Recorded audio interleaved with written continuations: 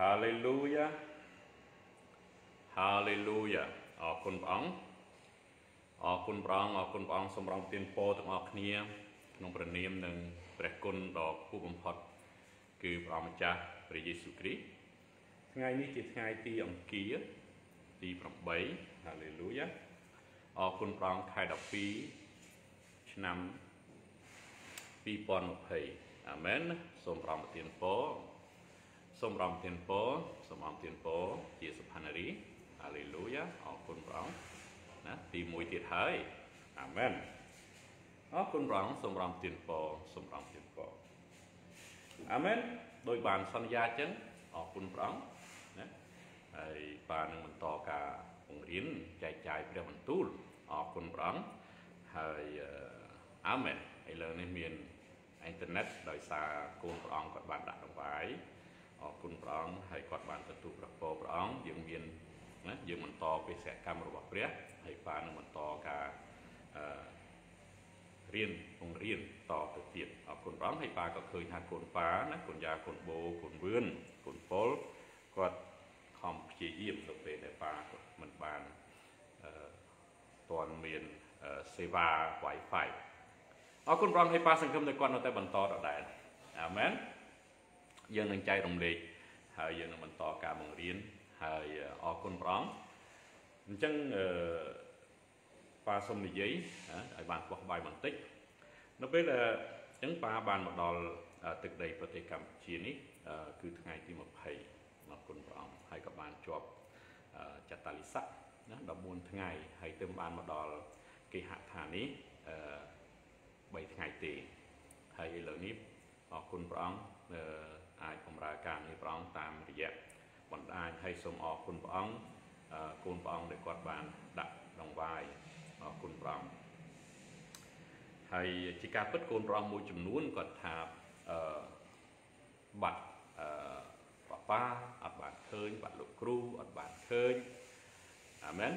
ប៉ុន្តែឥឡូវឃើញហើយហើយដល់អ្នកតាមដានមែនគឺអឺបានឃើញអរគុណព្រះអង្គហើយក៏ដឹងថាលោក គ្រូបានមកបបាបានមកអាមែនអរគុណព្រះអង្គសូមថ្វាយសិរីអរដល់ព្រះអរគុណព្រះអង្គហើយអរគុណណាអស់អ្នកដែលដៃដែលបានដាក់ដង្វាយហើយដៃចិត្តគំនិតដែលបានអធិដ្ឋានជ្រុំជ្រែងសម្រាប់នគរឋានសួគ៌ Hallelujah អរគុណព្រះអង្គថ្ងៃនេះប៉ាប៉ាមានព្រះបន្ទូលអមុននឹងធ្វើទីព្រះបន្ទូលបបាធ្វើទីបន្ទាល់បន្តិចអឺ ពេលប៉ាមកដល់ប្រទេសកម្ពុជាបបាបានធ្វើការបានអធិដ្ឋានឲ្យបងប្អូនយើងបានច្រើនអ្នកដែរសម្រាប់ម្សិលមិញនៅពេលណាបាប៉ាបានទៅកន្លែងមួយប៉ាបានទៅកន្លែងការ៉ាស់ឡានហើយពេលណាប៉ាដើរកាត់ពីកន្លែងការ៉ាស់ឡានព្រះអង្គមានព្រះបន្ទូលថាមានគេឈឺជង្គង់ដល់មានគេឈឺជង្គង់អញ្ចឹងប៉ាសួរទៅអ្នកដែលមនុស្សស្រីទៅវិញ ហើយមនុស្សស្រីថាខ្ញុំអត់ឈឺទេប៉ុន្តែមនុស្សស្រីនឹងចោលទៅម្នាក់ទៀតដែលគាត់ឈឺជង្គង់មែនអញ្ចឹងប៉ាសួរថាចុះអ្នកណាឈឺជង្គង់គាត់ចោលទៅបរោះមនុស្សម្នាក់ទៀតដែលគាត់ឈឺជង្គង់ហើយបូកនឹងកែងដៃផងអញ្ចឹងប៉ាក៏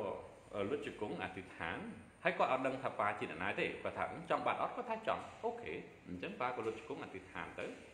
ហើយជើងជង្គង់គាត់ក៏បាត់ឈឺហើយមិនតែប៉ុណ្ណោះសោះក៏អធិដ្ឋានដល់ដៃគាត់ដែរកែងដៃគាត់ឈឺអាមែនហើយក៏បានអធិដ្ឋានដល់កែងដៃគាត់ថែមទៀតហើយគាត់ធ្វើមុខរបៀបឆ្ងល់ណាហើយនៅពេលឮបាអធិដ្ឋានក្នុងព្រះនាមព្រះយេស៊ូវគ្រីស្ទគាត់ក៏មានការភ្ញាក់ផ្អើលហើយគាត់ធ្វើមុខដូចជាអឺគេហៅថាអផងភ័យផងអីចឹងណាអរគុណព្រះ អង្គអាមែនហើយថ្ងៃដែលប៉ាមកដល់ថ្ងៃទី2អឺក៏បានអធិដ្ឋានឲ្យអ៊ំម្នាក់ណាដែលគាត់ដឹកពូកមកឲ្យក៏បានអធិដ្ឋានឲ្យគាត់ធូរស្បើយពីការចុកដៃទាំងសងខាងហើយគាត់ជាមនុស្សចាស់ទៀតនៅពេលណាប៉ាអធិដ្ឋានឲ្យគាត់ព្រះអង្គក៏មានព្រះបន្ទូលថា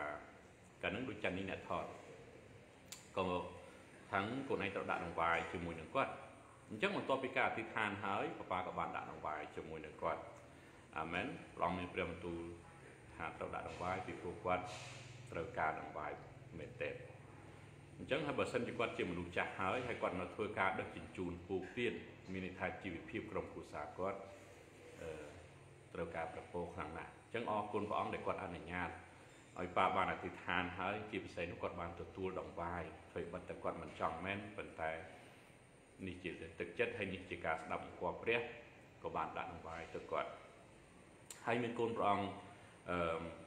ច្រើនដែលបានទទួលប្រេងតាំងដែលបានមកជួបហើយទទួលប្រេងតាំងអឺនេះជាប្រពោហើយប៉ាសប្បាយចិត្តមែនទែនដែលគាត់បានទទួលប្រេងតាំងហើយអ្នកខ្លះក៏ទទួលខ្លាំងអ្នកខ្លះក៏ទទួលតិចប៉ុន្តែទទួលទាំងអស់គ្នាពីព្រោះបុគ្គលម្នាក់ម្នាក់គាត់រមែងតែទទួលរបៀបខុសៗគ្នាប៉ុន្តែគាត់បានទទួលហើយអំណោយទានអំណាចនោះក៏ខុសៗគ្នាដែរអាមែន អញ្ចឹងជាការពិតអរគុណព្រះអង្គហើយបងប្អូនគាត់កាត់មកពីឆ្ងាយដើម្បីមកដើម្បីទទួលអឺព្រះពរព្រះអង្គហើយប៉ាក៏បានអធិដ្ឋានដាក់ដៃខ្លះណាក៏បានទទួលដោយអត់ចាំបាច់ដាក់ដៃផងគឺប្រអំណាចបចេស្តារបស់ព្រះបានប៉ះពាល់គាត់តែម្ដង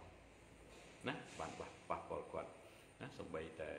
អ្នកខ្លះគ្រាន់តែអង្គុយក៏មានអារម្មណ៍ថាវិលមុខមានអារម្មណ៍ថាដួលអាមែន សូមថ្វាយសេរីអរដល់ព្រះដ៏គង់ផុតគឺព្រះអង្គធ្វើការអស្ចារ្យមែនទែនណាហើយមានការអស្ចារ្យជាច្រើនទៀតដែលមិនអាចនិយាយបានណាហើយកូនប៉ា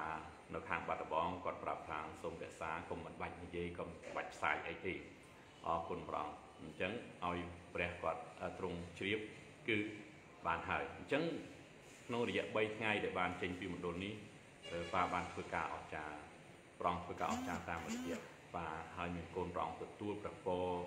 អឺហើយជាការពិតប៉ាអត់ហ៊ានឡាយទេពីព្រោះគាត់មិនអនុញ្ញាតដែរអរគុណព្រះអង្គយោងទៅតាមការងាររបស់គាត់យោងទៅតាមការខ្សែគប់របស់គាត់ដែរអញ្ចឹងគាត់គាត់មកគ្រាន់តែអរគុណហើយក៏ដាក់ដង្វាយជាសម្ភារៈប្រើប្រាស់ជាថាវិការមួយចំនួនដែលគាត់ដឹងគុណណាមានកូនព្រះអង្គគាត់ ពីការមួយចំហៀងខ្លួនឥឡូវនេះគាត់ដើរបានអរគុណព្រះអង្គហើយរឿងដែលគាត់មានបំណុលព្រះអង្គក៏ដោះបំណុលឲ្យរួចនេះជារឿងមួយដ៏អស្ចារ្យអេមែនហើយប៉ាមិនអាចបង្ហាញមុខឬក៏អឺបង្ហាញឲ្យគេឃើញពីព្រោះគាត់ស្នើសុំអញ្ចឹងពីព្រោះគាត់មានមុខមានមាត់ក្នុងសង្គមអញ្ចឹងគាត់ស្នើសុំកុំអាលអីអាមែនទុកឲ្យគាត់ធ្វើខ្លួនគាត់អញ្ចឹងប៉ាក៏យល់ព្រមដែរអរគុណព្រះអង្គ ហាឡេលូយ៉ាអញ្ចឹងព្រះអង្គនៅតែបន្តការងារព្រះអង្គនៅតែចង់ធ្វើការតាមរយៈកូនព្រះអង្គទាំងអស់គ្នាអាមែនអញ្ចឹងក្នុងនាមយើងជាអ្នកជឿព្រះយេស៊ូវអានព្រះបន្ទូលដូចគ្នាអរគុណព្រះអង្គអញ្ចឹងដោយប៉ាធ្លាប់និយាយហើយនិយាយទៀតអស់អ្នកណាដែលជឿព្រះយេស៊ូវណាអស់អ្នកណាដែលជឿព្រះយេស៊ូវកាន់តាមព្រះអង្គព្រះបន្ទូលរបស់ព្រះគឺគេបានរួចខ្លួនហើយគេកាន់ក្តីខាងយើងហើយអាមែន អញ្ចឹងយើងជៀសវាងណាកុំឲ្យប៉ះទង្គិចគ្នាហើយយើងយកភ្នែកយើងទៅមើលអ្នកដែលដែលអត់ទាន់ជឿអរគុណព្រះអង្គអញ្ចឹងយើងទៅមើលប្រជាពលរដ្ឋណានៅប្រទេសកម្ពុជាយើងមានច្រើនមែនទែនអាមែនអញ្ចឹងយើងត្រូវក៏លេចមើលពួកគាត់ដែលគាត់មិនទាន់ទាំងលឺនាមព្រះយេស៊ូវហើយមិនទាន់នឹងទទួលការព្យាបាលប្រោះឲ្យជាឬអ្នកខ្លះមិនដែលស្គាល់ថាព្រះយេស៊ូវជាអ្នកណាផង អញ្ចឹងយើងយកពេលវេលាយកគំនិត យើងផ្ចង់ទៅលើពួកគាត់ដើម្បីឲ្យពួកគាត់បានប្រពោស្គាល់ព្រះយេស៊ូវស្គាល់ការសង្គ្រោះអញ្ចឹងដូចប៉ាធ្លាប់បង្រៀនអញ្ចឹងអឺរបស់ដែលមានតម្លៃជាងគេ ចំពោះព្រះអង្គគឺប្រលឹងវិញ្ញាណអាមែនអញ្ចឹងព្រះអង្គចង់ឲ្យយើងធ្វើការងារនឹងនាំប្រលឹងវិញ្ញាណទៅនគរឋានសួគ៌ណាមិនមែនប្រណាំងប្រជែងគ្នាយកលេខ1ទេ មិនមែនចឹងទេបើខំប្រណាំងប្រជែងគឺខំប្រឹងធ្វើការរៀងខ្លួនទៅហើយយកលេខ1ចំពោះព្រះទៅណាកុំឲ្យប្រណាំងប្រជែងរវាងនឹងបុគ្គលនឹងបុគ្គលនិកាយនឹងនិកាយឬក៏ប៉ះទង្គិចអារម្មណ៍មនោចេតនាអីអញ្ចឹងបើយើងចង់បានលេខ1ចំពោះព្រះព្រះអង្គថាម៉េចបងទៀបខ្លួនហ្នឹងហើយអញ្ចឹងអស់អ្នកណាដែលមកទៀបខ្លួនគឺជាអ្នកធំជាងគេនៅនគរឋានសួគ៌អញ្ចឹងអស់អ្នកណាដែលខំប្រឹងធ្វើការច្រើនជាងគេក៏បានរង្វាន់ច្រើនជាងគេណាទទួលមកុដ ល្អជាងគេ ប្រសើរជាងគេអញ្ចឹងព្រះអង្គអ្នកកាត់ក្តីហើយព្រះអង្គនឹងជាព្រះនៃសេចក្តីស្រឡាញ់ហើយយុត្តិធម៌អាមែនអរគុណព្រះអង្គហហើយសង្ឃឹមថាអ្វីដែលប៉ាឡាយនេះគឺច្បាស់លាស់ណាស់អ្នកខ្លះនៅតែមិនទាន់ជឿថាប៉ានឹងមកប្រទេសកម្ពុជាគាត់នៅតែផ្ញើសារហើយថតហើយនៅប្រទេសកម្ពុជាហើយគាត់នៅតែមិនព្រមជឿថាប៉ានៅប្រទេសកម្ពុជាអាមែន ហើយសូមចូលរួមអធិដ្ឋានដើម្បីឲ្យព្រះអង្គការពារថែរក្សាយើងទាំងអស់គ្នា នៅទឹកដីប្រទេសកម្ពុជាហើយជាពិសេសអធិដ្ឋានបងប្អូនយើងដែលនៅប្រទេសក្រៅដែលគាត់អត់ទាន់អត់ទាន់អត់ទាន់មកអត់ទាន់ប៉ុន្តែគាត់នឹងមកអាមែនដោយសារព្រះអង្គនឹងក៏ហៅគាត់ចេញពីកម្ដាប់ដៃវ៉ាក់សាំង Bill Gates គឺក៏ខ្មាំងសត្រូវនឹង Hallelujah សូមព្រះអង្គប្រទានពរ អញ្ចឹងសូមបងប្អូនត្រៀមចិត្តទទួលព្រះបន្ទូលរបស់ព្រះសូមសំរុំចិត្តអធិដ្ឋានក្នុងព្រះនាមព្រះអង្គម្ចាស់ព្រះយេស៊ូវគ្រីស្ទ Rabashakaranamanте rebechete ranamanto korobosho koronamonto អាបាប្រវិដាក្នុងព្រះនាមនិងព្រះគុណគុំផុតគឺព្រះម្ចាស់ព្រះយេស៊ូវគ្រីស្ទគុណសូមអរព្រះគុណទ្រង់ បងឯងគុណសូមញែកពេលវេលានេះដាក់លើប្រហោះប្រងព្រះអង្គសូមព្រះអង្គមានព្រះបន្ទូលមកកាន់កូនទាំងអស់គ្នាសូមព្រះអង្គចាក់ព្រិញតាំងឲ្យកូនទាំងអស់គ្នាអីលើនេះឲ្យកូនចេះស្ដាប់តាមធ្វើតាមគោរពតាមបំណងផាទិញនៃព្រះកុំអោយទូព្រះបង្គំយើងខ្ញុំទាំងអស់គ្នានេះកិច្ចឆ្ងាយពីបំណងផាទិញនៃព្រះឡើយព្រះអង្គឯងគុណសូមអរព្រះគុណទ្រង់សូមព្រះអង្គមានព្រះបន្ទូលមកកាន់កូនគ្រប់គ្រប់គ្នាអីលើនេះកូនសូមទូលថ្វាយក្នុងព្រះនាមនិងព្រះគុណពងផុតគឺព្រះអង្គចាស់ព្រះយេស៊ូវគ្រីស្ទក្នុងព្រះនាមព្រះ Yeshua Amashia Hallelujah អរគុណព្រះអង្គអញ្ចឹងសូមមេត្តាបើកនៅក្នុងព្រះគម្ពីរយូហានអាមែនព្រះគម្ពីរយូហានសម្បត្តិទី1យូហានទី1 Hallelujah យូហានទី1អរគុណព្រះអង្គយូហានទី1ចំពុក2អាមែនយូហានទី1ចំពុ ក2 Hallelujah Hallelujah អរគុណព្រះយូហានទី1ចំពុក2សូមព្រះអង្គប្រទានពរកូនតូចតូចរាល់គ្នាអើយដែលខ្ញុំសរសេរសេចក្តីទាំងនេះផ្ញើមកនោះដើម្បីកុំឲ្យអ្នករាល់គ្នាធ្វើបាបទៀតតែបើសិនជាអ្នកណាភ្លាត់ធ្វើបាបវិញនោះយើងមានព្រះដ៏ជាជំនួយមួយអង្គហើយដែលទ្រង់គង់ នៅចំពោះព្រះវរបិតា គឺជាព្រះគ្រីស្ទជាព្រះដ៏សុចរិតចឹងគ្រាន់តែនៅខមួយនេះ មានអត្ថកម្បាំងច្រើនណាស់សូមស្ដាប់សូមស្ដាប់ Hallelujah កូនតូចតូចរាល់គ្នាអើយណាអ្នកដែលជឿថ្មី អ្នកដែលថ្មីថ្មោងអ្នកដែលអត់ទាន់ទទួលព្រះវិញ្ញាណបរិសុទ្ធ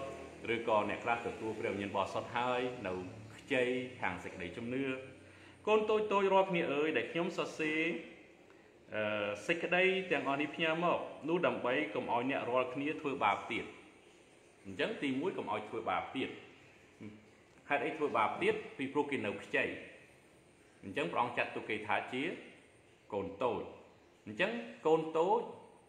រមែងតែធ្វើបាប អ្នកជំនឿថ្មីរមែងតែខុសរមែងតែធ្វើបាបអញ្ចឹងមានន័យថាម៉េច មានន័យថាកូនតូចតូចរាល់គ្នាអើយអញ្ចឹងយូហានសរសេរទៅដើម្បីដើម្បីកុំឲ្យអ្នករាល់គ្នាធ្វើបាបទៀតអញ្ចឹងអ្នកដែលធ្វើបាប គឺអ្នកដែលកូនតូចអ្នកដែលមានជំនឿខ្សោយអ្នកដែលជឿថ្មីតមកបន្តិចទៀតតែបើសិនជាអ្នករាល់គ្នាភ្លាត់ធ្វើបាបវិញអញ្ចឹងកូនតូចតូចហ្នឹងបើសិនជាភ្លាត់ធ្លាក់ទៅក្នុងសេចក្តីល្បួងធ្លាក់ទៅក្នុងអំពើបាប Hallelujah តែបើសិនជាអ្នកណាតែបើសិនជាអ្នកណាភ្លាត់ធ្វើបាបវិញនោះយើងមានព្រះដ៏ជាជំនួយមួយអង្គហើយអ្នកណាគេជាព្រះដ៏ជាជំនួយដែលទ្រង់គង់នៅចំពោះព្រះវរបិតាអញ្ចឹងយើងមានព្រះអង្គដ៏ជាជំនួយគង់នៅចំពោះព្រះវរបិតា អញ្ចឹងព្រះអង្គកាន់ក្តីយើងបើយើងធ្វើខុសយើងមានព្រះអង្គនោះដែលជួយលុបលាងបាបយើង ពីព្រោះនៅក្បែរព្រះវរបិតាព្រះយេស៊ូវទ្រង់មានអីលោហិត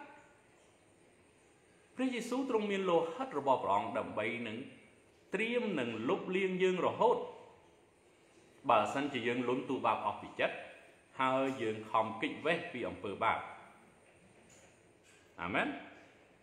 អញ្ចឹងតែបើសិនជាអ្នករាល់គ្នាផ្លាត់ធ្វើបាបវិញបើសិនជាបើសិនជាយើងផ្លាត់ធ្វើបាបវិញនោះយើងមានព្រះដ៏ជាជំនួយមួយអង្គដែលទ្រង់គង់នៅចំពោះព្រះវរបិតាអស្ចារ្យបងប្អូនព្រះអង្គដ៏ជាជំនួយព្រះអង្គដ៏ជាជំនួយដែលគង់នៅចំពោះព្រះវរបិតាគឺជាព្រះយេស៊ូវគ្រីស្ទអាមែនជាព្រះ ដ៏សុចរិតអញ្ចឹងបើសិនជាយើងជាក្មេងតូចតូចជំនឿទាបទឹមជឿថ្មីថ្មីផ្លាត់ធ្វើបាបធ្លាក់ទៅក្នុងសេចក្តីលបួងប្រងថាម៉េច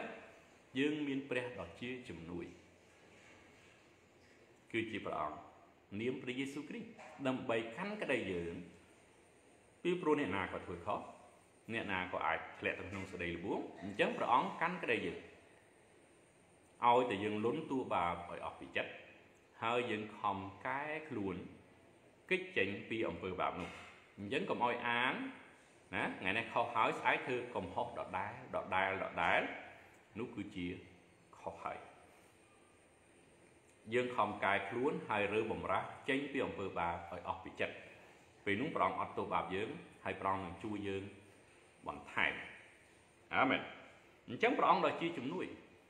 នៅក្នុងព្រះគម្ពីរយូហានចំពោះ14ព្រះអង្គដ៏ជាជំនួយគឺជាព្រះវិញ្ញាណបរិសុទ្ធអញ្ចឹងនៅកន្លែងនេះព្រះអង្គដ៏ជាជំនួយគឺជាព្រះយេស៊ូវអញ្ចឹងព្រះវិញ្ញាណបរិសុទ្ធព្រះយេស៊ូវជាអង្គតែមួយព្រះអង្គដ៏ជាជំនួយហើយបើក្នុងក្នុងក្នុងព្រះគម្ពីររ៉ូមវិញណាយើងដឹងហើយថាយើងមិនដឹងសុំអ្វីពីព្រះអង្គយើងមិនដឹងចេះនិយាយយើងមិនចេះអធិដ្ឋាន ប៉ុន្តែមានព្រះអង្គដ៏ជាជំនួយដែលស៊ីជម្រៅយល់បំណងបហាទិញនៃព្រះហើយព្រះអង្គទ្រង់ជ្រាបចិត្តយើងអញ្ចឹងព្រះអង្គនឹងស្នើសុំជំនួសយើងគឺព្រះអង្គ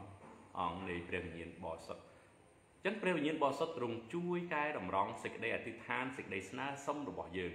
ឲ្យស្របតាមលក្ខន្តិកៈនគរឋានសួគ៌ដើម្បីឲ្យព្រះអង្គទទួលដងវាយនៃការអធិដ្ឋាននេះហើយឆ្លើយតបដោយវិជ្ជមាន នេះក៏ជាព្រះអង្គដ៏ជាជំនួយដែរអញ្ចឹងព្រះវិញ្ញាណបរិសុទ្ធជាអង្គដ៏ជាជំនួយព្រះយេស៊ូវគ្រីស្ទជាអង្គដ៏ជាជំនួយហាឡេលូយ៉ាខ2ដែលទ្រង់ជាដង្វាយធូរនឹងបាបយើងរាល់គ្នាមិនត្រឹមតែបាបរបស់យើងរាល់គ្នាតែប៉ុណ្ណោះគឺនឹងបាបរបស់លោកីទាំងមូលផងអញ្ចឹងព្រះអង្គសុគតនៅលើជើឆ្កាងសម្រាប់យើងទាំងអស់គ្នាមិនមែនតែអ្នកបានជឿអ្នកបញ្ជាក៏ព្រះអង្គសុគតដែរចំពោះបាបគេដែរ អញ្ចឹងសេចក្តីស្រឡាញ់របស់ព្រះអង្គធំធេងណាស់ Hallelujah ខ3យើងរាល់គ្នាដឹងថា យើងស្គាល់ទ្រង់ដោយសារសេចក្តីនេះ គឺដោយយើងកាន់តាមបញ្ញត្តិរបស់ទ្រង់យើងស្គាល់ព្រះដោយសារយើងកាន់តាមធ្វើម៉េចឲ្យយើងកាន់តាមបញ្ញត្តិលុះត្រាតែយើងអានបញ្ញត្តិលុះត្រាតែយើងមើលព្រះគម្ពីរលុះត្រាតែយើងអានព្រះគម្ពីរមិនយើងស្គាល់ បញ្ញត្តិអញ្ចឹងដើម្បីឲ្យយើងស្គាល់បញ្ញត្តិរបស់ព្រះស្គាល់ច្បាប់របស់ព្រះស្គាល់ការដំបូលមានរបស់ព្រះយើងត្រូវតែអានព្រះបន្ទូលហើយបើយើងអានព្រះបន្ទូលហើយយើងត្រូវតែស្ដាប់តាមធ្វើតាមព្រះបន្ទូលយើងត្រូវធ្វើតាមបញ្ញត្តិរបស់ព្រះអាមែនយើងរាល់គ្នាដឹងថាយើងស្គាល់ទ្រង់ដោយសារសេចក្តីនេះណាយើងស្គាល់ទ្រង់ដោយសារ ព្រះបន្ទូលគឺដែលយើងកាន់តាមបញ្ញត្តិរបស់ទ្រង់ខ4អ្នកណាដែលថាបានស្គាល់ទ្រង់តែមិនកាន់តាមបញ្ញត្តិទ្រង់ហឹមម្ដងទៀតអ្នកណាដែលថាបានស្គាល់ទ្រង់តែមិនកាន់តាមបញ្ញត្តិទ្រង់ទេ អ្នកនោះឈ្មោះថាជាអ្នកកុហកហើយសេចក្តីពិតមិននៅក្នុងអ្នកនោះឡើយអ្នកខ្លះគេថាខ្ញុំស្គាល់ព្រះយេស៊ូវប៉ុន្តែគេអត់កាន់តាមអញ្ចឹង អ្នកនោះគេខ្លាយទៅជាអ្នកកុហកយើងមិនអាចស្គាល់ព្រះយេស៊ូវហើយមិនស្ដាប់តាមព្រះអង្គទេបើសិនជាយើងស្គាល់ព្រះយេស៊ូវយើងត្រូវតែកាន់តាមបញ្ញត្តិហើយបើសិនជាយើងគ្រាន់តែស្គាល់គ្រាន់តែជឿហើយយើងមិនកាន់តាមផងយើងคล้ายទៅជាមនុស្សកុហកហើយមនុស្សកុហកមិនបានក្រងនគរឋានសួគ៌ទេ ហាឡេលូយ៉ាខ5តែអ្នកណាដែលកាន់តាមព្រះបន្ទូលទ្រង់វិញនោះប្រកាសជាសេចក្តីស្រឡាញ់នៃព្រះ បានពេញខ្នាតនៅក្នុងអ្នកនោះគឺដោយសេចក្តីនោះឯងដែលយើងដឹងថាយើងនៅក្នុងទ្រង់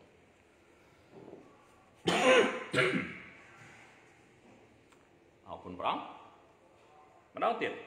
តែអ្នកណាដែលកាន់តាមព្រះបន្ទូលទ្រង់វិញកូនបាតា ខ្ញុំអាមែនតែទៅបិទតែយើងធ្លុយខ្លះប៉ុន្តែយើងកាន់បានច្រើនអរគុណព្រះតែអ្នកណាដែលកាន់តាមព្រះបន្ទូលទ្រង់វិញនោះប្រកាសជាសេចក្តីស្រឡាញ់នៃព្រះបានពេញខ្នាតនៅក្នុងអ្នកនោះហើយគឺដោយសេចក្តីនោះឯងដែលយើងដឹងថាយើងនៅក្នុងទ្រង់ដោយសារកាន់តាមបញ្ញាអញ្ចឹងបើសិនជាយើងមិនកាន់តាមទេយើងធ្វើម៉េចនៅក្នុងទ្រង់នៅក្នុងព្រះអង្គហើយព្រះអង្គនៅក្នុងយើង គេខ្លះទាំងខ្ញុំស្រឡាញ់ព្រះអង្គខ្ញុំនៅជាមួយព្រះអង្គប៉ុន្តែតើព្រះអង្គនៅជាមួយយើងឬអត់អញ្ចឹងវាមានលក្ខខណ្ឌត្រូវតែមានពីរទៅវិញទៅមកកាន់តាមស្ដាប់តាមធ្វើតាមសេចក្តីជំនឿខ្វះការប្រព្រឹត្តគឺជាសេចក្តីស្លាប់គឺជាសេចក្តីស្លាប់អាមែនតទៅមុខទៅទៀតអរគុណព្រះអង្គអញ្ចឹងបើសិនជាយើងចង់ដឹងថាតើយើងនៅជាមួយព្រះអង្គឬក៏អត់ តើព្រះអង្គគង់នៅជាមួយយើងឬក៏អត់យើងត្រូវមើលថាតើយើងកាន់តាមព្រះបន្ទូលឬក៏អត់តើយើងស្ដាប់តាមហើយធ្វើតាមព្រះបន្ទូលឬអត់បើសិនជាយើងមិនទេយើងបើសិនជាយើងមិនស្ដាប់តាមទេយើងមិនមែននៅជាមួយព្រះអង្គទេហើយព្រះអង្គក៏មិននៅជាមួយយើងដែរអញ្ចឹងខនេះគូចំណាំទៅអ្នកខ្លះគេសួរថា ធ្វើម៉េចឲ្យឲ្យដឹងថាខ្ញុំនៅក្នុងនៅជាមួយនឹងព្រះចម្លើយថាតើអ្នកឯងកាន់តាមបញ្ញត្តិរបស់ព្រះអត់តើអ្នកឯងស្ដាប់តាមព្រះបន្ទូលហើយធ្វើតាមអត់បើធ្វើតាមអ្នកឯងមានព្រះនៅជាមួយអ្នកឯងមានព្រះបន្ទូលនៅជាមួយព្រះអង្គគង់នៅជាមួយហើយបើអ្នកឯងគ្រាន់តែជឿហើយអត់កាន់តាមទៅថាកាន់តាមមិនទៅអានឹងមានន័យថាព្រះមិនទាន់នៅជាមួយទេពីព្រោះគេអត់ដឹងថាកាន់តាមយ៉ាងម៉េចផងគេមិនដែលអានព្រះបន្ទូលគេមិនដែលមើលមេរៀនគេមិនដែលស្ដាប់មេរៀន អាមែនអរគុណបងហាឡេលូយ៉ាខ6អ្នកណា អ្នកណាដែលថាខ្លួននៅក្នុងទ្រង់នោះត្រូវតែប្រព្រឹត្តដូចជាទ្រង់ដែរបើសិនជាពួកគេមានព្រះអង្គនៅខាងក្នុងច្បាស់ជាធ្វើតាមព្រះអង្គហើយពីព្រោះព្រះអង្គអ្នកបញ្ជាពីក្នុងមកអញ្ចឹងយើងមិនអាចធ្វើអ្វីខុសទេបើសិនជាព្រះអង្គនៅខាងក្នុងមែនសូមស្ដាប់ ខ6អ្នកណាដែលថាខ្លួននៅក្នុងទ្រង់នោះត្រូវតែប្រព្រឹត្តដោយទ្រង់ដែរអញ្ចឹងបើសិនជាមានព្រះអង្គដឹកនាំពីខាងក្នុងយើងខំតម្រង់អាកប្បកិរិយាយើងឲ្យស្របតាមនឹងដែរតាមព្រះអង្គដែរយើងមិនអាចថាខ្ញុំមានព្រះហើយធ្វើឲ្យសាច់តំពើចិត្តទេនោះជារឿងមួយដែលកុហកទៀតហើយបងប្អូនណាពេលវេលាវាខ្លី ខ្លីណាស់ណាខ្លីមែនតើហើយបើបងប្អូននៅតែកុហកបោកប្រាស់ខ្លួនឯងថាព្រះអង្គគង់នៅជាមួយព្រះអង្គគង់នៅជាមួយ ហើយមានអំពើបាបបើសិនជាព្រះអង្គយាងមកឥឡូវនេះបងប្អូនអត់បានទៅទេបើសិនជាបងប្អូនមិនព្រមលះចោលអំពើបាបនេះបងប្អូនមិនបានទៅទេ ហើយបងប្អូនដឹងខ្លួនឯងទៀតថាមិនបានទៅទេនេះជារឿងអស្ចារ្យទី2មិនត្រឹមតែដឹងខ្លួនឯងខុសទៀតដឹងខ្លួនឯងអត់បានទៅទេបើសិនជាព្រះអង្គយាងមកឥឡូវនេះយើងដឹងខ្លួនឯងថាខ្លួនយើងមិនបានទៅទេអញ្ចឹងឈប់ប្រព្រឹត្តអំពើបាបទៀតទៅឈប់ទៅអាមែនអញ្ចឹងបើសិនជា អ្នកណាដែលថាខ្លួននៅក្នុងទ្រង់ ថាយើងនៅជាមួយនឹងព្រះអង្គនោះត្រូវតែប្រព្រឹត្តដូចជាទ្រង់ដែរអញ្ចឹងយើងយកព្រះយេស៊ូវធ្វើជាគំរូអាមែនអរគុណបងខ7ពួកស្ងួនគ្នាអើយសេចក្តីដែលខ្ញុំសរសេរផ្ញើមកអ្នករាល់គ្នានោះមិនមែនជាបញ្ញត្តិថ្មីទេគឺជាបញ្ញត្តិចាស់ ដដែលដែលអ្នករាល់គ្នាមានតាំងពីដើមមកឯបញ្ញត្តិចាស់នោះ គឺជាព្រះបន្ទូលដែលអ្នករាល់គ្នាបានឮហើយព្រះគម្ពីរតូរ៉ាបញ្ញត្តិចាស់ណាបញ្ញត្តិ10ប្រការជាដើមក្រឹតវិន័យ10ប្រការណាមានក្រឹតវិន័យផ្សេងផ្សេងតរៀងមកខ8ខ្ញុំក៏សរសេរបញ្ញត្តិមួយថ្មីទៀតផ្ញើមកអ្នករាល់គ្នាជាសេចក្តីពិត ដែលនៅក្នុងទ្រង់ហើយក្នុងអ្នករាល់គ្នាដែរត្បិតសេចក្តីងងឹតកំពុងតែបាត់ទៅ ហើយពន្លឺដ៏ពិត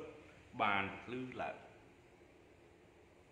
អញ្ចឹងវិញ្ញាណនៃខ្មាំងសត្រូវបានដកថយទៅ ហើយសេចក្តីពិតនឹងលេចធ្លោឡើងបើបងប្អូនអោបកសោបអំពើបាបបងប្អូនមិនបានរស់នៅក្នុងសេចក្តីពិតឬក៏រស់នៅក្នុងពន្លឺទេធ្វើម៉េចឲ្យពន្លឺលេចធ្លោឡើង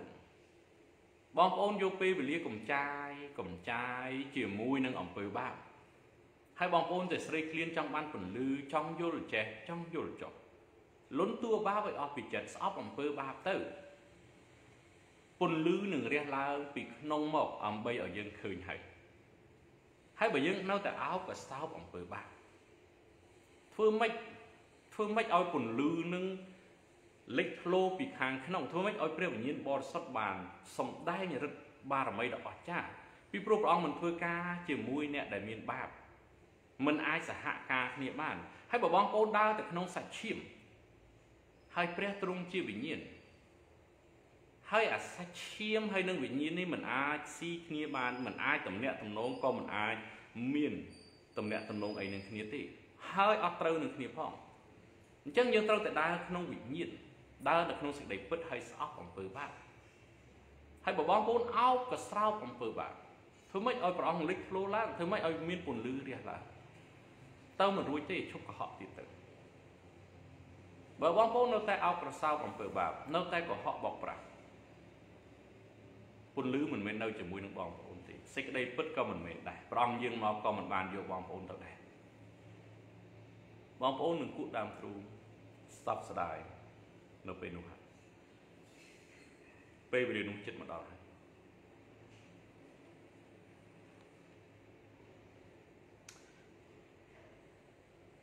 ខ9យូហានទី1ចំពុក2ខ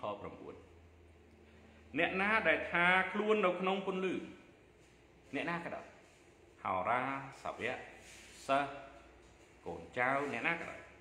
អ្នកណាដែលថាខ្លួននៅក្នុងពន្លឺ តែស្អប់ដល់បងប្អូននោះឈ្មោះថានៅក្នុងសេចក្តីងងឹត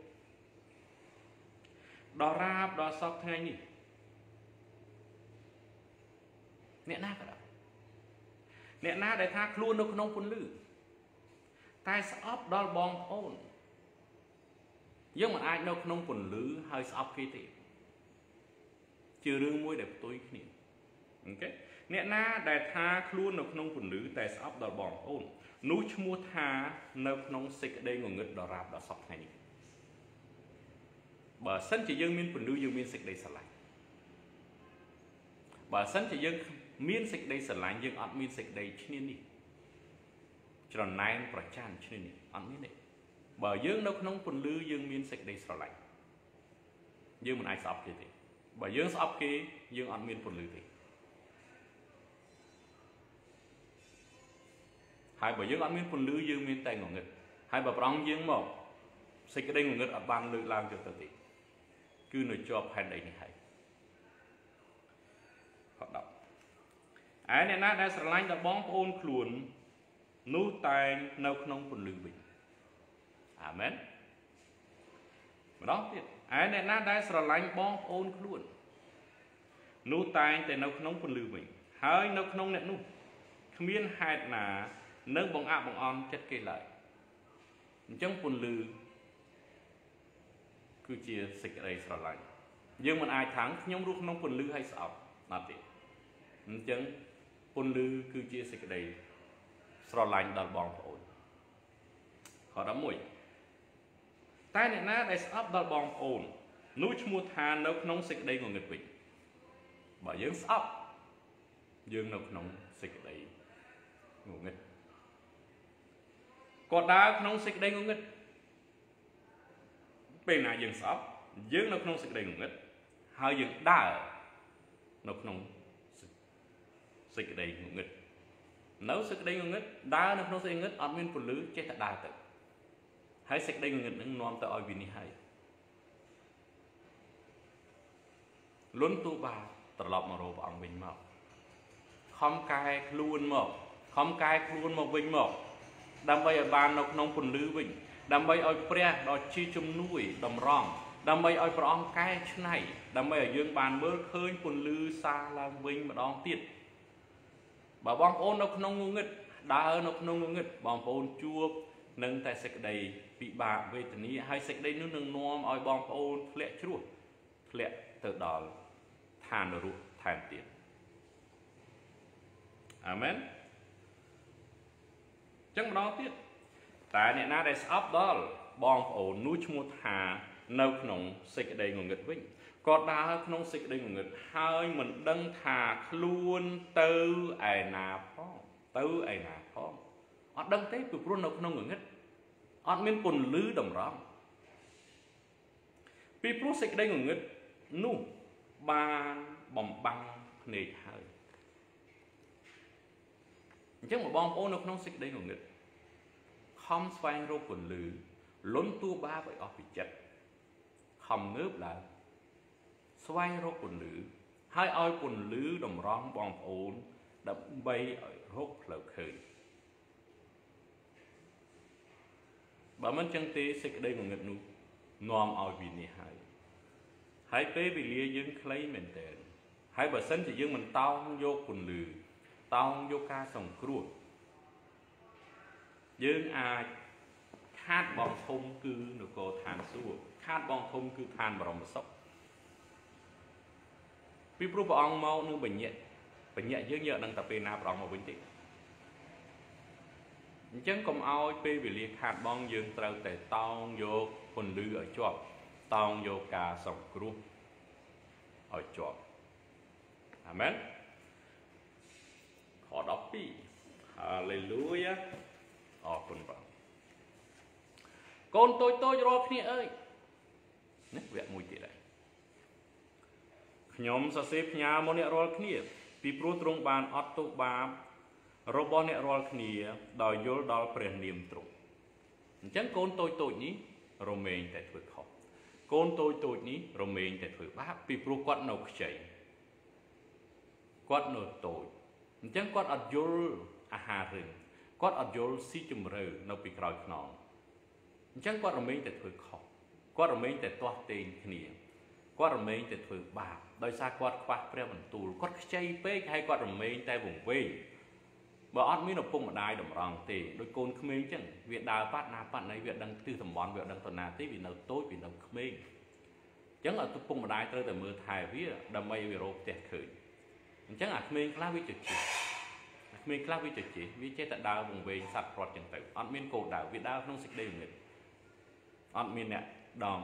រងផ្លូវអញ្ចឹងកូនតូចតូចរមែងតែធ្វើខុសកូនតូចតូចរមែងតែធ្វើបាបក៏ប៉ុន្តែយើងត្រូវដឹងថាមានព្រះជំនួយមួយអង្គរងចាំជួយយើងរហូតបើយើងលន់តួបាបអស់ពីចិត្តយើងបែរមករកព្រះអង្គវិញព្រះអង្គនឹងលុបអំពើចាស់ចោលចេញ ហើយព្រះអង្គនឹងតម្រង់យើងឲ្យដើរផ្លូវត្រូវអញ្ចឹងកូនតូចតូចដែលធ្វើខុសលន់តួបាបចំពោះព្រះអង្គហើយព្រះអង្គនឹងលុបលាងបាបយើង ហើយយើងខំប្រឹងដើរផ្លូវល្អទៅអាមែនអរគុណព្រះអញ្ចឹងនៅវគ្គនេះក៏មានពាក្យថាកូនតូចតូចដែរកូនតូចតូចរាល់គ្នាអើយខ្ញុំសរសេរផ្ញើមកអ្នករាល់គ្នាពីព្រោះទ្រង់បានអត់ទោសបាបដល់អ្នករាល់គ្នាហើយ ដោយយល់ដល់ព្រះនាមទ្រង់ដោយយល់ដល់ព្រះយេស៊ូវគ្រីស្ទអញ្ចឹងបើសិនជាពួកគេធ្វើខុសគេអធិដ្ឋានព្រះអង្គអត់ទោសឲ្យសំខាន់ជាងគេនោះឲ្យយើងដឹងកំហុសរបស់យើងបើយើងអត់ដឹងថាយើងខុសទេវេទនាហើយបុគ្គលណាក៏ដោយបើសិនជាអត់ដឹងតែខ្លួនឯងខុសវេទនាពីព្រោះមិនដឹងថាខុសអីហើយមិនដឹងទៅលន់តួបាបអី អញ្ចឹងយើងទៅទីមួយយើងត្រូវដឹងថាខ្លួនឯងខុសសិនពេលណាយើងលន់ទូបាបយើងមាននាមព្រះយេស៊ូវយើងមានលោហិតព្រះអង្គចាស់ព្រះយេស៊ូវគ្រីស្ទទ្រង់ជួយលុបលាងយើងខ13ឪពុករកគ្នាអើយខ្ញុំសរសេរមកអ្នករាល់គ្នាពីព្រោះបានស្គាល់ព្រះដែលទ្រង់គង់នៅតាំងពីដើមរៀងមកកំឡោះរាល់គ្នាអើយខ្ញុំសរសេរមកអ្នករាល់គ្នាពីព្រោះបានឈ្នះមេកំណាចហើយក្មេងរាល់គ្នាអើយខ្ញុំបានសរសេរមកអ្នករាល់គ្នាពីព្រោះបានស្គាល់ព្រះបូវេដា ឪពុករាល់គ្នាអើយខ្ញុំបានសរសេរមកអ្នករាល់គ្នាពីព្រោះបានស្គាល់ព្រះដែលគង់នៅតាំងពីដើមមកកំឡោះរាល់គ្នាអើយខ្ញុំសរសេរបានផ្ញើមកអ្នករាល់គ្នាមកពីព្រោះបានមានកម្លាំងហើយព្រះបន្ទូលក៏ស្ថិតនៅក្នុងអ្នករាល់គ្នាអ្នករាល់គ្នាបានឈ្នះមេកំណាចហើយព្រោះយើងដឹងហើយថាព្រះបន្ទូលនេះប៉ះពាល់ដល់បងប្អូនទាំងអស់គ្នាហើយជាពិសេសពួកកំឡោះកំឡោះដែលរមែងចាញ់សេចក្តីល្បួងណាវិញ្ញាណអាភាសជាដើម ប៉ុន្តែយូហានថាពួកគេបាន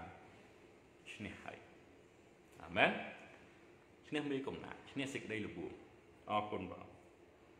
កុំអោយស្រឡាញ់លោកី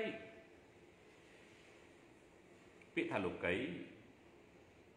គឺរបស់អ្វីដែលយើងមើលឃើញឋានសាច់ឈាមអូខេព្រោះព្រះអង្គទ្រង់ជាវិញ្ញាណកុំអោយស្រឡាញ់លោកីឬរបស់អ្វីដែលនៅក្នុងលោកីនេះឲ្យសក់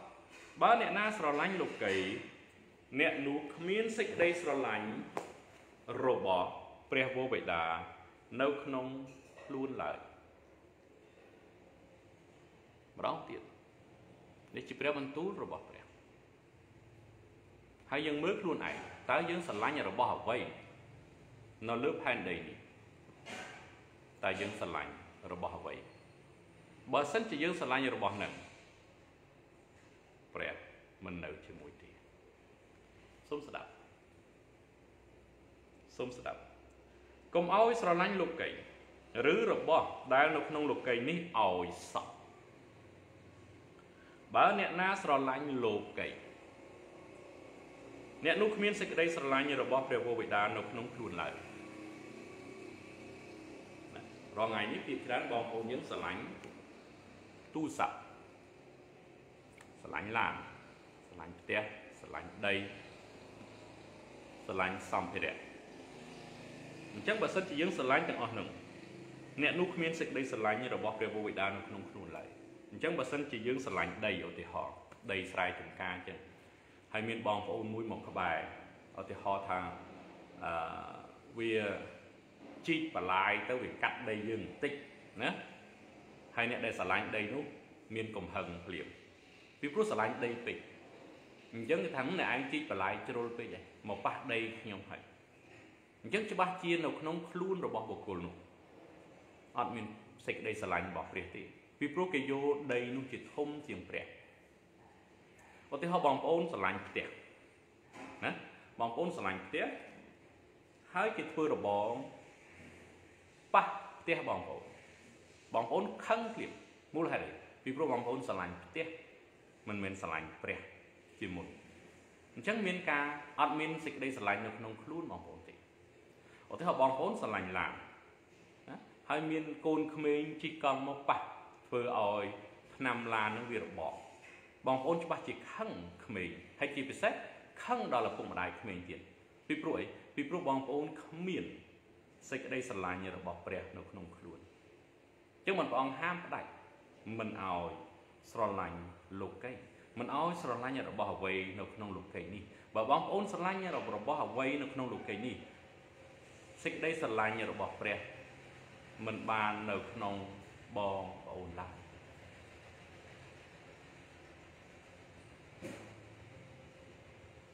សូមរំទានពរខ16ថ្វិតអស់ទាំងសេចក្តីដែលនៅក្នុងលោកីនេះ គឺជាសេចក្តីប៉ងប្រាថ្នារបស់សាច់ឈាមនិងសេចក្តីប៉ងប្រាថ្នារបស់ភ្នែកហើយសេចក្តីអំនួតរបស់ជីវិតនោះមិនកើតមកពីព្រះវរបិតាទេ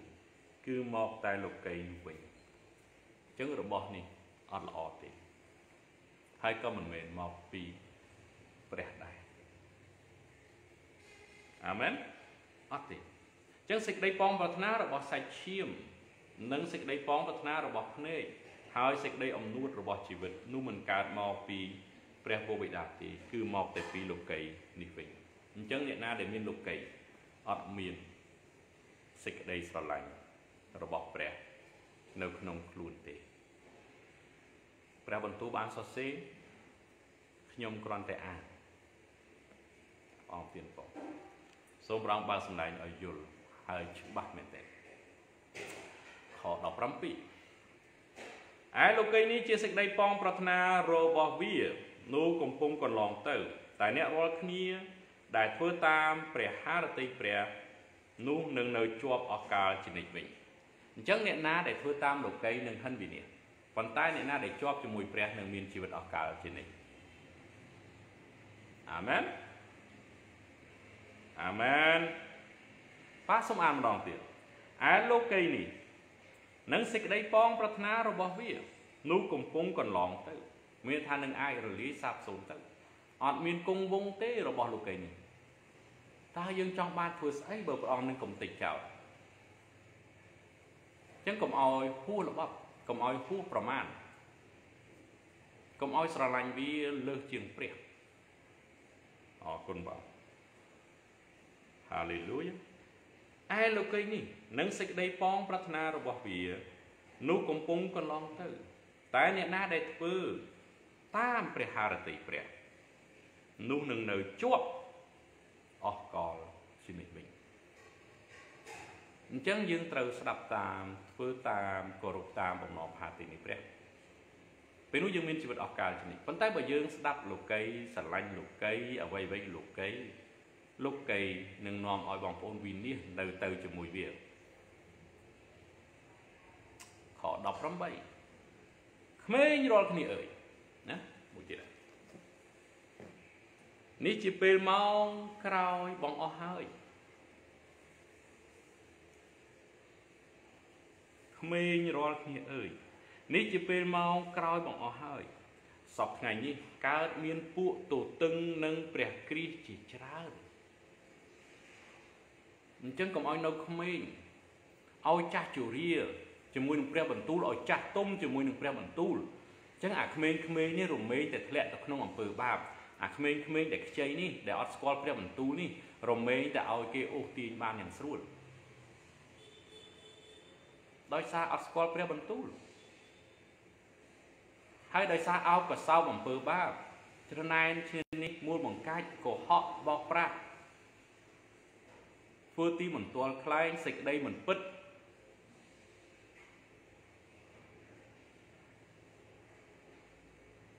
ក្មេងរាល់គ្នាអើយនេះជាពេលម៉ោងចុងក្រោយបង្អស់ហើយសពថ្ងៃនេះកើតមានពួកទទឹងនិងព្រះគ្រីស្ទជាច្រើនដូចជាអ្នករាល់គ្នាបានឮហើយថាអាទទឹងនិងព្រះគ្រីស្ទត្រូវមកហេតុនោះបានជាយើងដឹងថានេះជាពេលម៉ោងក្រោយបង្អស់អញ្ចឹងកូនព្រះអង្គដែលខ្ចីដែលទូចដែលមិនស្គាល់ព្រះបន្ទូល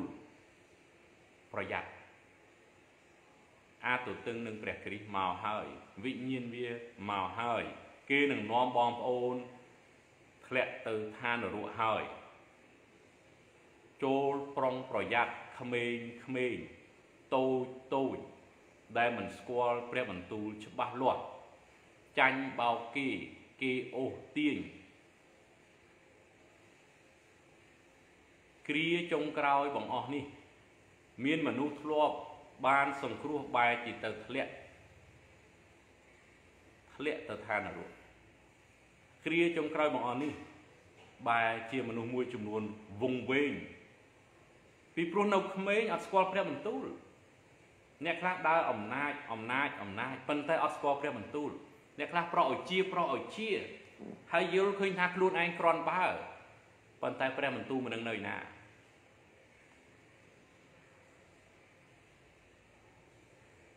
ណាប៉ាបង្រៀនកូនប៉ាមេរៀននេះសម្រាប់កូនព្រះអង្គសម្រាប់កូនហោរាទេអ្នកដតីសុំកុំមើលកុំលុះមាត់កុំលុះដៃមិនមែនសម្រាប់បងប្អូនទេកុំមើល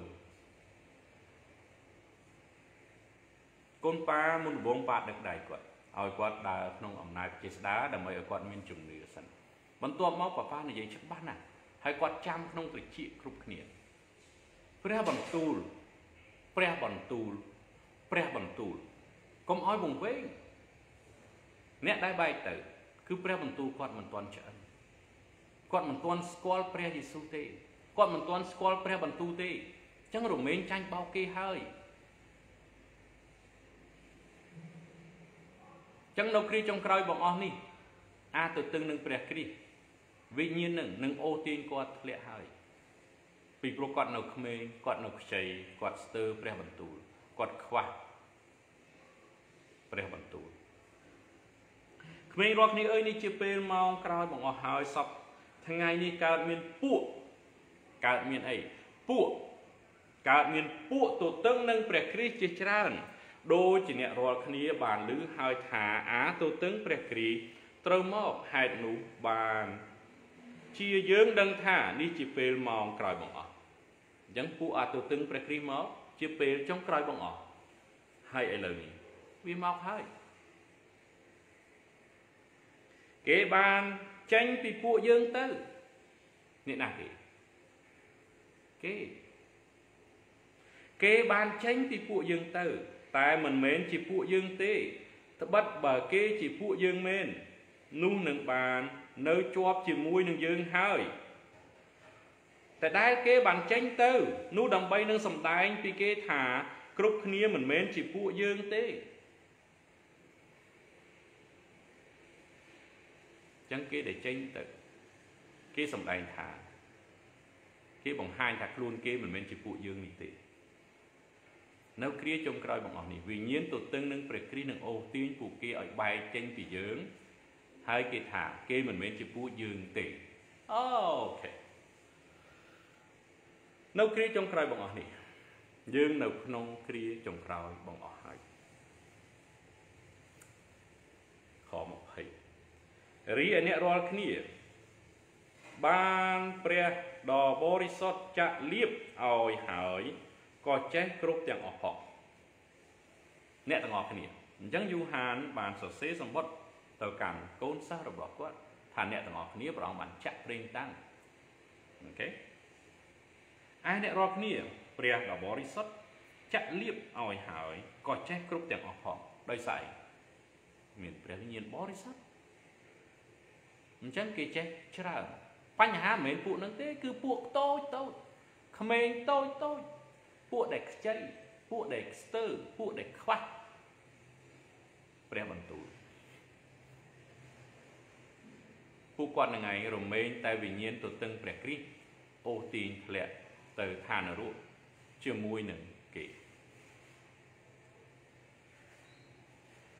តើអ្នកណាជាអ្នកកុហក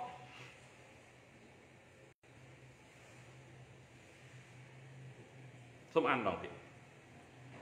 សូមអានម្ដងទៀតអានពីខ20ម្ដងទៀតរីឯអ្នករាល់គ្នាបានព្រះដ៏បរិសុទ្ធចាក់លៀបឲ្យហើយក៏ចេះគ្រប់ទាំងអស់ចាក់លៀបនេះគឺចាក់ប្រេងហើយលៀបប្រេងអូខេ អរគុណព្រះអង្គខំ21ខ្ញុំសរសេរផ្ញើមកអ្នកមិនមែនដោយព្រោះអ្នករាល់គ្នាមិនស្គាល់សេចក្តីពិតទេគឺដោយព្រោះបានស្គាល់ហើយក៏ដឹងថាគ្មានសេចក្តីភូតផូណាកើតពីសេចក្តីពិតនោះឡើយអញ្ចឹងសរសេរនេះលើកទឹកចិត្តមិនមែនចោតប្រកាន់ទេគ្រាន់តែប្រយ័ត្នបើមានសេចក្តីភូតផោគឺមិនមែនពួកគេអត់មានសេចក្តីពិតក្នុងចិត្តទេអញ្ចឹងលិខិតរបស់យូហាន កែតម្រង់មិនមែនបន្ទោសទេបងទៀនពូខ្ញុំសរសេរមកអ្នកមិនមែនដោយព្រោះអ្នករាល់គ្នាបានស្គាល់សេចក្តីពិតទេគឺដោយព្រោះបានស្គាល់ហើយក៏ដឹងថាគ្មានសេចក្តីភូតភរកើតពីសេចក្តីពិតនោះឡើយខំ22តើអ្នកណាជាអ្នកកុហកបើមិនមែនជាអ្នកប្រកែកថាព្រះយេស៊ូវមិនមែនជាព្រះគ្រីស្ទនោះទេ អ្នកណាដែលមិនព្រមទទួលស្គាល់ទ្រង់ ព្រះវរបិតានិងព្រះបុត្រាផង អ្នកនោះហើយជាអ្នកដែលទទឹងនឹងព្រះគ្រីស្ទអស់អ្នកណាដែលមិនទទួលព្រះយេស៊ូវជាព្រះបុត្រាក៏អត់ទទួលព្រះវរបិតាដែរអញ្ចឹងបើគេអត់ទទួលព្រះយេស៊ូវគេអត់ទទួលព្រះវរបិតានឹងហើយគេហៅវិញ្ញាណទទឹងនឹងព្រះគ្រីស្ទរាល់ថ្ងៃនេះគេបង្កើតសាសនាតែមួយដែលកើតឡើងហើយដែលកើតឡើងហើយ ខែ11អញ្ចឹងគេថាទុកព្រះយេស៊ូវនៅឡើយគេគិតរឿងផែនដីគេគិតរឿងសន្តិភាពគេគិតរឿង peace love គេស្រឡាញ់ផែនដីគេស្រឡាញ់លោកីគេថាឲ្យផែនដីមានសន្តិភាពគេបោះបង់ព្រះយេស៊ូវចោលអ្នកណាដែលស្រឡាញ់លោកីគ្មានសេចក្តីស្រឡាញ់របស់ព្រះនៅក្នុងខ្លួនគេទេ អញ្ចឹងសាសនានេះគេនាំឲ្យយើងរួបរวมគ្នាដើម្បីលោកីដើម្បីផែនដីគេគ្មានសេចក្តីស្រឡាញ់របស់ព្រះនៅក្នុងខ្លួនពួកគេទេ អ្នកណាដែលចូលរួម គឺគ្មានសេចក្តីស្រឡាញ់របស់ព្រះទេប្រងថាអ្នកណាដែលស្រឡាញ់លោកីនោះមិនគ្មានសេចក្តីស្រឡាញ់របស់ព្រះទេ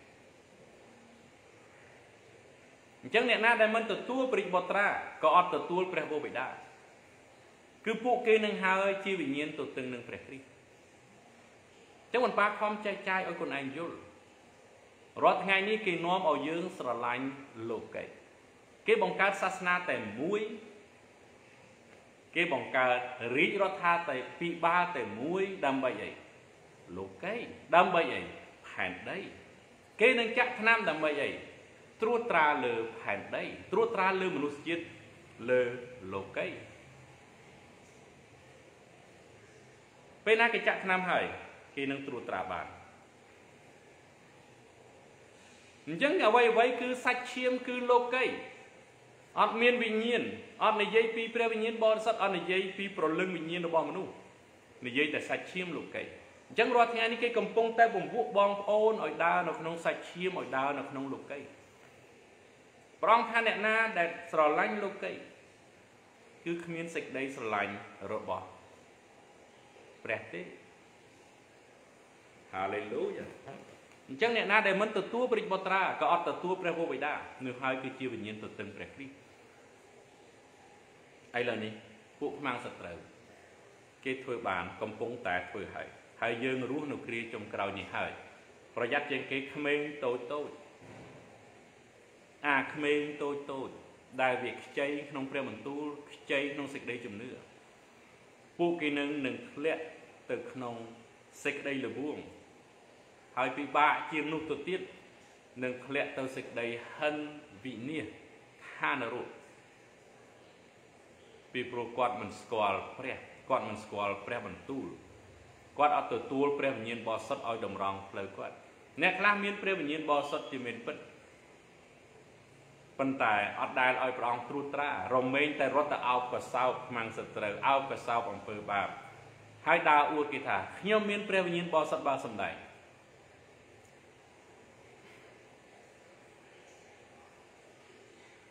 គាត់ខ្ចីគាត់ក្មេងក្នុងព្រះបន្ទូលរបស់ព្រះហាឡេលូយ៉ាហាឡេលូយ៉ាម្ដងទៀតខ23ឯអ្នករាល់គ្នាមិនមែន មិនព្រមទទួលស្គាល់ព្រះបុត្រាណាឯអស់អ្នកណាដែលមិនព្រមទទួលស្គាល់ព្រះបុត្រានោះក៏គ្មានព្រះវរបិតាដែរ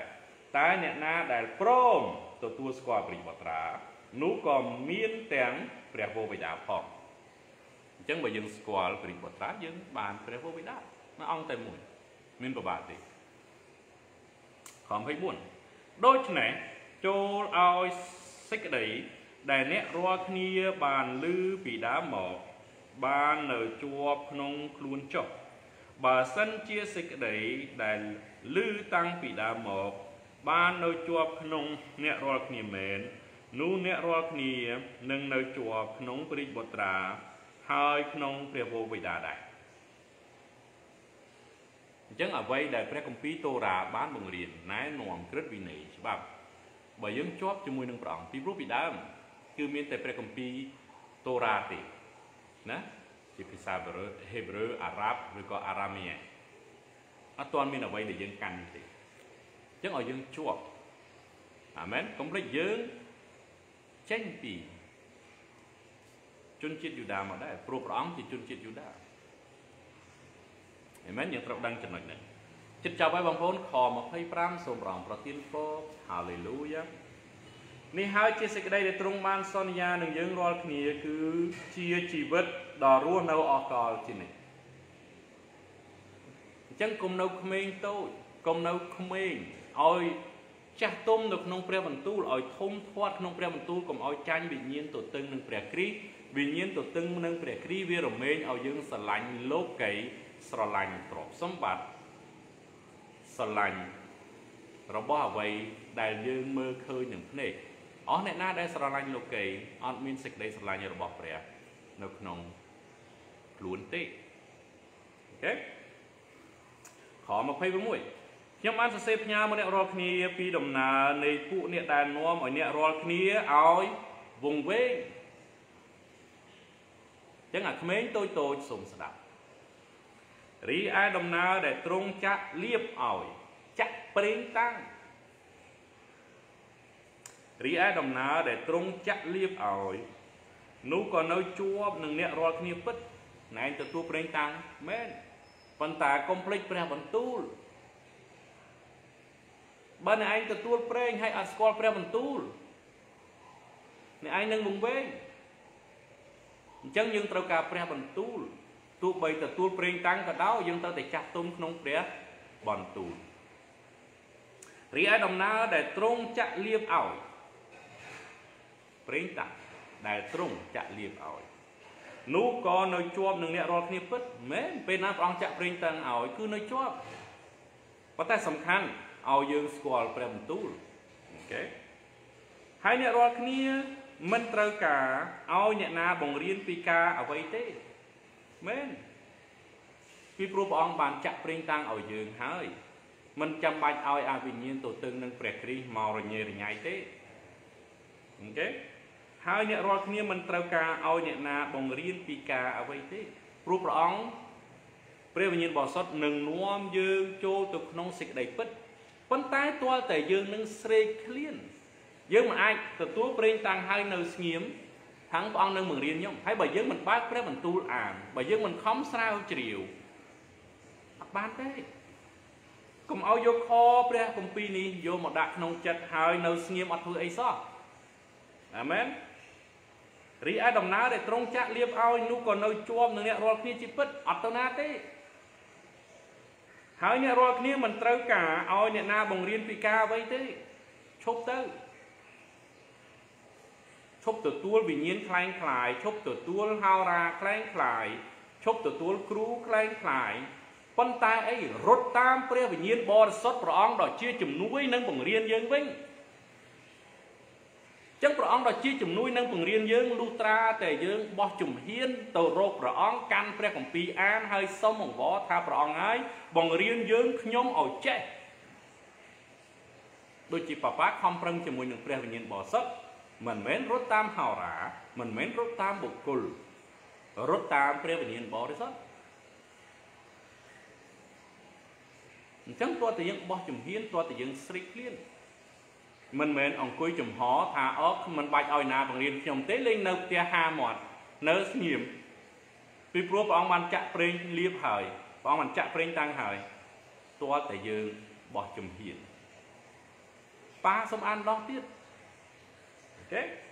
រីឯដំណើរដែលទ្រង់ចាក់លៀបឲ្យនោះក៏នៅជាប់នឹងអ្នករាល់គ្នាជាពិតអត់ទៅណាទេហើយអ្នករាល់គ្នាមិនត្រូវការអ្នកណាបង្រៀនពីការអ្វីទេ អត់ត្រូវការទេឲ្យព្រះវិញ្ញាណបរិសុទ្ធបង្រៀន okay ប៉ុន្តែដូចជាដំណើរចាក់លៀបនោះប្រេងតាំងនោះ បានបង្រៀនពីគ្រប់ការទាំងអស់ហើយមិនមែនជាសេចក្តីកំភូតទេ គឺជាសេចក្តីពិតវិញនោះត្រូវឲ្យអ្នករាល់គ្នានៅជាប់ក្នុងទ្រង់ចោះតាមដែលដំណើរនោះបានបង្រៀនមក តាមដែលព្រះវិញ្ញាណបរិសុទ្ធបង្រៀនយើងអញ្ចឹងយើងអត់ត្រូវការអ្នកណាក្រៅពីព្រះវិញ្ញាណបរិសុទ្ធទេបើយើងចង់ចេះព្រះវិញ្ញាណបរិសុទ្ធ បើយើងចង់ចេះព្រះវិញ្ញាណបរិសុទ្ធព្រោះព្រះអង្គបានចាក់ប្រេងតាំងយើងហើយអញ្ចឹងបើសិនជាយើងនៅស្ងៀមឧទាហរណ៍ថាខ្ញុំព្រះអង្គចាក់ប្រេងតាំងហើយអញ្ចឹងខ្ញុំចេះហើយព្រោះខ្ញុំអត់ត្រូវការគ្រូណាបង្រៀនខ្ញុំទៀតទេហើយយើងនៅស្ងៀមអានោះជារឿងមួយដែលខុសព្រះអង្គចាក់លៀបមែនព្រះអង្គចាក់ប្រេងតាំងមែនប៉ុន្តែធ្វើម៉េចឲ្យយើងចេះធ្វើម៉េចឲ្យព្រះអង្គបង្រៀនយើងបាន លុះត្រាតែយើងបោះជំហានកាន់ព្រះគម្ពីរអានអធិដ្ឋានលុតជង្គង់សំពោពីព្រះអង្គឲ្យយើងយល់អ្វីដែលយើងអានហើយសំពោព្រះអង្គប្រងហើយតើកូនត្រូវរៀនពីអីមើលអ្នកណារៀនពីគ្រូណានិយាយជាមួយព្រះវិញ្ញាណបរិសុទ្ធទៅព្រះអង្គនឹងបើសម្ដែងហើយអញ្ចឹងក្នុងរយៈមួយថ្ងៃពីរថ្ងៃនេះមានកូនព្រះអង្គដែលអត់ស្គាល់ហោរាអត់ស្គាល់ប៉ាអ្នកខ្លះស្គាល់តែ2ថ្ងៃមកទទួលប្រេងតាំងដែរអ្នកខ្លះអត់ទាំងដែរជួបមុខគ្នាយ៉ាងម៉េចផង តែខ្ញុំចង់មកជួបព្រោះពេលខ្ញុំអធិដ្ឋានប្រងបានបើសម្ដែងហើយមាន អ្នកដែលជាជំនួយនឹងមកជួយខ្ញុំហើយប៉ាអត់ដឹងរឿងទេប៉ុន្តែគេមកដល់ផ្ទះតែម្ដងគេថាសូមឲ្យលោកគ្រូទៅផ្ទះគាត់ហើយជួយអធិដ្ឋានយើងនិយាយពីការងាររបស់ព្រះជាមួយនឹងគ្នាវ៉ាវអត់ដែលស្គាល់គ្នាសោះបងប្អូនដែលទទួលប្រេងតាំង សូមមេត្តាស្រេកឃ្លានព្រះបន្ទូលកូនតូចតូចកូនក្មេងមេត្តាធំធាត់ឡើងទទួលព្រះបន្ទូលដ៏ពិតទទួលព្រះបន្ទូលដ៏រស់កុំឲ្យចាញ់វិញ្ញាណទទឹងនឹងព្រះគ្រីស្ទកុំឲ្យចាញ់បោកគេដែលគេអូសទាញបងប្អូនស្រឡាញ់លោកីស្រឡាញ់ផែនដីស្រឡាញ់របស់ដែលមើលឃើញនឹងភ្នែកពីព្រោះព្រះអង្គនឹងកំតិចចោលចឹងព្រះអង្គណែនាំហើយណែនាំទៀតយើងរស់នៅគ្រាចុងក្រោយនេះ កុំឲ្យយើងធ្លាក់ទៅក្នុងសេចក្តីល្បួងរបស់លោកីគេរៀបចំរាជរដ្ឋាភិបាលតែមួយគឺគ្រប់គ្រងផែនដីមិនមែននាំឲ្យយើងទៅនគរឋានសួគ៌ទេមិនមែននាំឲ្យយើងទៅឋានបរមសុខទេគេរៀបចំសាសនាតែមួយដើម្បីបង្វែរយើងឲ្យគេចចេញពីព្រះយេស៊ូវគ្រីស្ទគេអត់ទទួលស្គាល់ព្រះយេស៊ូវគេអត់ទទួលស្គាល់ទាំងព្រះវរបិតាផង អញ្ចឹងមិនគេខំរៀបចំឲ្យយើងភ្នែកយើងមើលលោកីផែនដីលោកីផែនដីលោកីផែនដីសន្តិភាពផែនដីលោកីផែនដីគេអត់បានបង្រៀនយើងឲ្យដឹងថាខ្លួនយើងជាវិញ្ញាណយើងត្រូវទៅនគរឋានសួគ៌វិញគេបង្រៀនយើងឲ្យស្រឡាញ់ផែនដីស្រឡាញ់លោកីសម្បត្តិទ្រព្យសម្បត្តិអញ្ចឹងអ្នកណាដែលស្រឡាញ់ផែនដីស្រឡាញ់លោកីអត់មានសេចក្តីស្រឡាញ់របស់ព្រះទេ ចិត្តចាប់ឲ្យបងប្អូនអូរ៉ាបាសាការ៉ាម៉ាតេរេខ28និង29សូមស្ដាប់ហើយអីលើនេះពួកកូនតូចតូចអើយចូលនៅជាប់នឹងទ្រង់ចោះណាទោះបីជាធ្វើខុសទោះបីជាត្រូវចាញ់សេចក្តីល្បួញ ប៉ុណ្ណាក៏ដោយឲ្យជាប់ជាមួយព្រះអង្គសិនឲ្យជឿព្រះយេស៊ូវសិនឲ្យជាប់ជាមួយព្រះអង្គចុះទេឥឡូវនេះពួកកូនតូចតូចអើយចូលនៅជាប់ក្នុងទ្រង់ចុះដើម្បីកាលណាទ្រង់លេចមកនោះយើងខ្ញុំនឹងមានចិត្តក្លាហានឥតត្រូវការនឹងខ្មាស់នៅចំពោះទ្រង់ក្នុងការដែលទ្រង់យាងមកនោះឡើយបើអ្នករាល់គ្នាដឹងថាទ្រង់សុចរិតនោះ ត្រូវតែយល់ឃើញថាអស់អ្នកណាដែលប្រព្រឹត្តតាមសេចក្តីសុចរិតនោះគេនឹងកើតពីទ្រង់មកដែរអញ្ចឹងកូនតូចតូចណាទោះបីខុសត្រូវយ៉ាងម៉េចក៏ដោយលន់តួបាបយើងមានព្រះអង្គដ៏ជាជំនួយព្រះអង្គដែលមានលោហិតលុបលៀងយើងគឺព្រះយេស៊ូវគ្រីស្ទដែលនៅក្បែរព្រះវរបិតារងចាំសេចក្តីអធិដ្ឋានរបស់យើងហើយបើយើងខំមិនលុតជង្គង់ ធ្វើម៉េចឲ្យព្រះអង្គលុបលៀងយើងព្រះអង្គមិនបង្ខំយើងទេកូនតូចតូចអើយអ្នកដែលខ្ចីក្នុងព្រះបន្ទូលអ្នកដែលទឹមកើតជាថ្មីថ្មីថ្មីអ្នកដែលមានព្រះវិញ្ញាណបរិសុទ្ធប៉ុន្តែអត់ស្គាល់ព្រះបន្ទូលកូនតូចតូចអើយនៅជាប់ជាមួយនឹងព្រះយេស៊ូវចុះកុំជាប់ជាមួយមនុស្សកុំជាប់ជាមួយហោរានេះកុំជាប់ជាមួយលោកគ្រូនោះ ជាប់ជាមួយនឹងព្រះយេស៊ូវចុះពេលណាព្រះអង្គមកវិញយើងបានទៅបើសិនជាកូនតូចតូចនឹងខុសលុតជង្គង់អស់ពីចិត្តហើយខំប្រឹងកុំឲ្យធ្វើខុសទៀតពីព្រោះវានៅតូចរមែងតែខុសហើយបើខុសហើយខំប្រឹងកែយ៉ាប់ជាងគេគឺអាតូចតូចនឹងឯងយ៉ាប់ជាងគេគឺអាអ្នកដែលអត់ស្គាល់ព្រះបន្ទូលពិតនឹងឯងអញ្ចឹងសូមមេត្តាលុតជង្គង់ហើយវិលមករកព្រះអង្គសង្គ្រោះមួយអង្គនាមព្រះអង្គគឺព្រះយេស៊ូវគ្រីស្ទអាមែនអរគុណបងសម្រាប់ទានពរទាំងអស់គ្នាក្នុងព្រះនាមនិងព្រះគុណដ៏គួរបំផុតគឺព្រះអង្គម្ចាស់ព្រះយេស៊ូវគ្រីស្ទហាឡេលូយ៉ាសម្រាប់គង់ជាមួយអរគុណព្រះអង្គហើយសូមយើងប្រុងប្រយ័ត្នទាំងអស់គ្នា ពីព្រោះយើងរស់នៅគ្រាចុងក្រោយហើយ ពេលវេលាវិជាហើយខ្មាំងសត្រូវសេចក្តីងងឹតវាកំពុងតែលំពាត់ហើយសាសនាតែមួយកើតហើយរាជរដ្ឋាភិបាលតែមួយនឹងចិត្តកើតទៀតដើម្បីនឹងចាក់ឆ្នាំពិភពលោកកូនខ្ចីខ្ចីអើយក្មេងតូចតូចអើយប្រុងប្រយ័ត្នកុំឲ្យចាញ់សេចក្តីលបួងកុំឲ្យធ្លាក់ទៅឋាននរកជាមួយនឹងវិញ្ញាណទទឹងនឹងព្រះគ្រីស្ទបើយើងខុស យើងមានលោហិតរបស់ព្រះយេស៊ូវជាទីពឹងហើយកុំដោយសារលោហិតនោះយើងធ្វើអីសាច់តែអំពើចិត្តឲ្យចេះឲ្យចេះខំប្រឹងធ្វើត្រូវកុំអាងអីលុតជង្គង់អាងអីលុតជង្គង់ហើយយើងអត់ខំប្រឹងកែខ្លួននោះព្រះអង្គមិនអាចជួយយើងបានទេសូមព្រះអង្គគង់ជាមួយហើយកូនតូចតូចខំប្រឹងទំពាព្រះបន្ទូលលេបព្រះបន្ទូលទទួលទានព្រះបន្ទូល ឲ្យបានច្រើនដើម្បីកុំឲ្យវង្វេងសូមព្រះអង្គប្រទានពរក្នុងព្រះនាមនិងព្រះគុណដ៏គង់ផុតគឺព្រះម្ចាស់ព្រះយេស៊ូវគ្រីស្ទក្នុងព្រះនាមព្រះ Yeshua Amashiach សូមរំទានពរអាមែន